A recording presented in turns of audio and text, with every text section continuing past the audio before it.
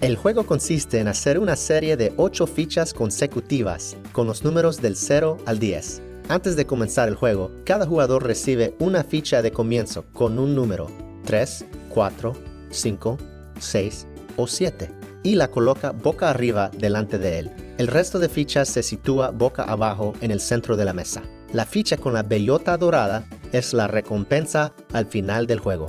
Por turnos, los jugadores destapan una ficha. Si con ella se puede continuar la serie, hacia la derecha o la izquierda, podrá quedársela y colocarla. De lo contrario, volverá a darle la vuelta y la colocará en su lugar. El primero que consiga una serie de 8 fichas gana y recibe la bellota dorada como recompensa.